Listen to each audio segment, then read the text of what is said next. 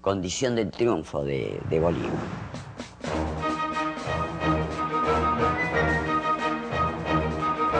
Se inicia una gran campaña por la liberación de Nueva Granada y Venezuela. Bolívar ha logrado trascender el racismo y los estrechos intereses de la clase mantuana, impulsando hasta las últimas consecuencias la lucha por la unidad y la emancipación continental. El Congreso de Angostura, integrado por venezolanos, granadinos y ecuatorianos, funda la República de Colombia y lo designa presidente. Con los triunfos en las batallas de Boyacá, Carabobo y Pichincha, sella militarmente la unidad territorial de la nueva república. Un estado bioceánico con un poder militar y marítimo forjado en grandes batallas y un territorio superior al de cualquier potencia europea. El proyecto de Bolívar comenzaba a gestarse. En el sur del continente, coincidiendo con la ofensiva bolivariana del norte, el ejército de José de San Martín y Bernardo O'Higgins ha derrotado a los realistas y liberado a Chile.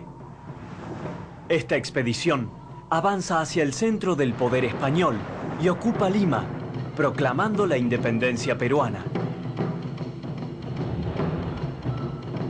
En Perú, donde se ha concentrado el grueso de la resistencia española, San Martín ha perdido en 1820 sus principales apoyos. Por una parte está enfrentado a Rivadavia, a quien ha desobedecido porque Rivadavia lo obligaba a volver. Lo asesinan a Güemes en 1820, que era un elemento clave de su retaguardia. Y es ahí donde, a mi modo de ver, él lo llama a Bolívar porque Bolívar está mucho más fuerte en ese momento. En el encuentro de Guayaquil, San Martín entrega a Bolívar el mando del ejército libertador. Unos meses antes, habían firmado el primer gran tratado de Unión Suramericana.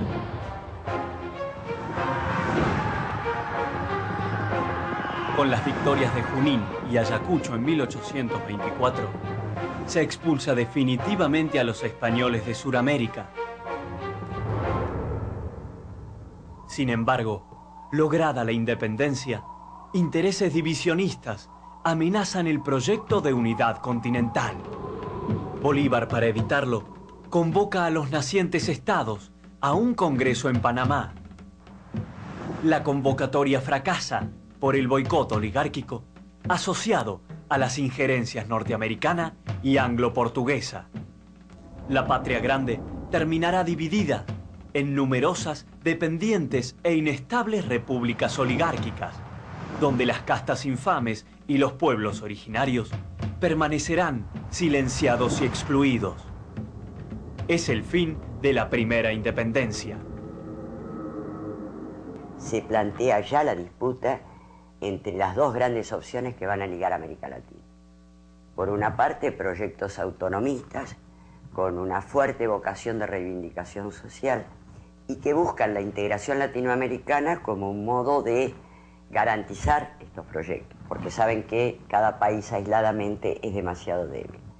Y por otro lado, lo que son los proyectos oligárquicos neocoloniales de estas eh, clases privilegiadas, criollas, que de alguna manera buscan formas de inserción eh, subordinada a las potencias de turno. Mientras tanto, el imperio inglés afianza su dominio económico y coloca bonos usurarios a través de las bancas Goldsmith y Baring Brothers. Nace la eterna deuda externa. 1830 es un año asiago en la historia de nuestro continente. Corrientes separatistas desmantelan el ejército libertador y fragmentan la unidad de la Gran Colombia. En Venezuela se funda la Cuarta República como continuidad de las dos primeras repúblicas mantuanas.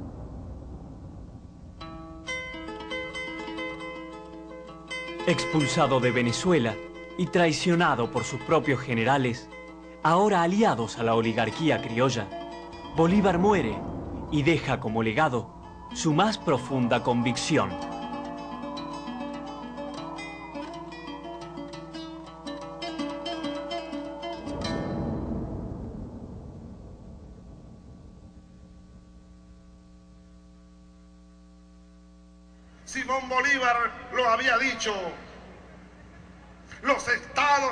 Unidos de Norteamérica parecen destinados por la providencia para plagar la América de miserias a nombre de la libertad.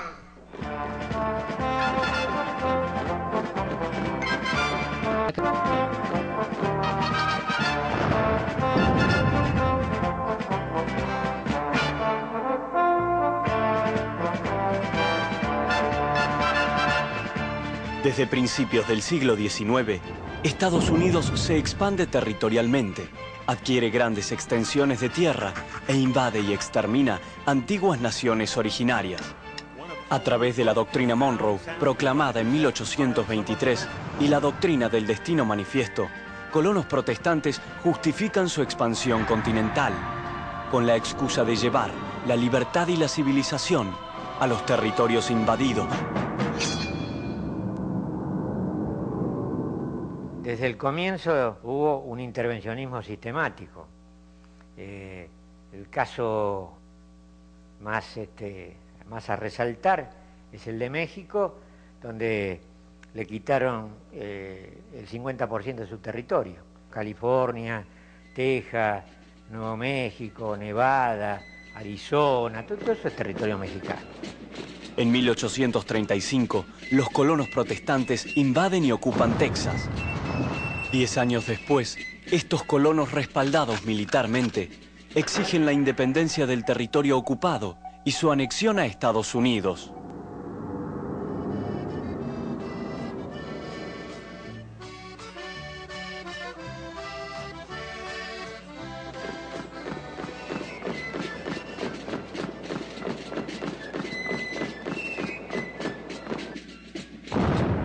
En 1848, en una nueva guerra de conquista, ocupan militarmente la capital mexicana y obligan a México a ceder la mitad de su territorio.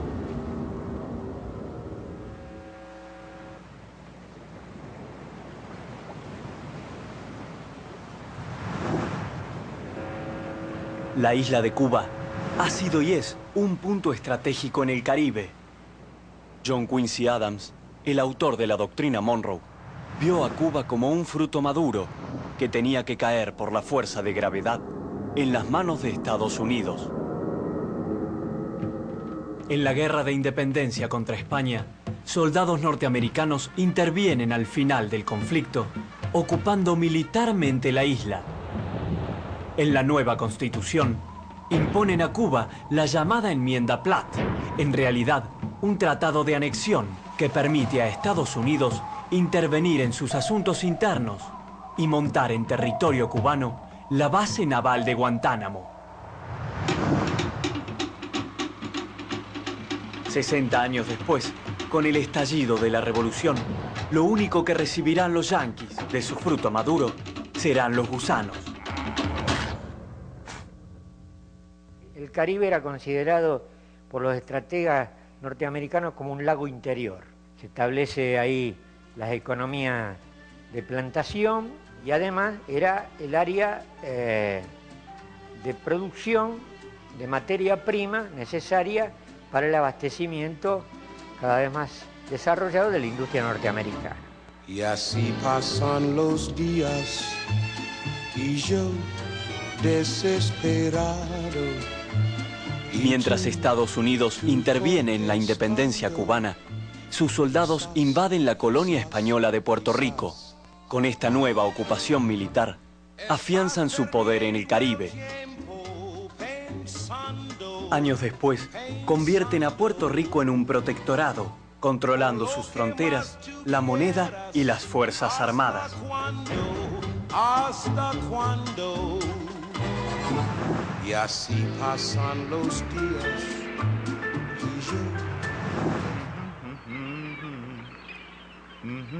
Para el presidente de la United Fruit Company, en Honduras, una mula vale más que un diputado. Con el apoyo de infantes de Marina, estas empresas estadounidenses ocupan las tierras fértiles del norte del país y las convierten en ricos feudos privados.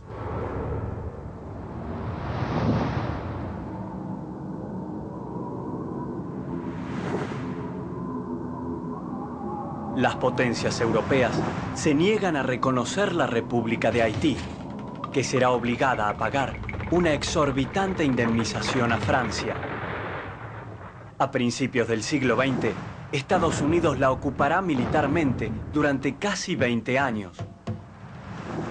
Haití nunca más volverá a recuperar su antiguo esplendor, convirtiéndose en una de las naciones más pobres del mundo. En 1904, el presidente Teodoro Roosevelt define a Estados Unidos como el gendarme del Caribe, justificando con esta nueva doctrina futuras intervenciones expansionistas. Desde 1850 y durante décadas, Nicaragua ha sido el país más intervenido por los estadounidenses, que buscaban la manera de construir un paso interoceánico en Centroamérica. En 1926 surge la figura de Sandino. La guerrilla nicaragüense combate la ocupación yanqui y por primera vez los Estados Unidos son derrotados y expulsados de un país. Pero años de ocupación dejan huella. La Guardia Nacional, dirigida por Anastasio Somoza, toma el poder y asesina a Sandino. En 1901, los Estados Unidos promueven la segregación panameña del territorio colombiano.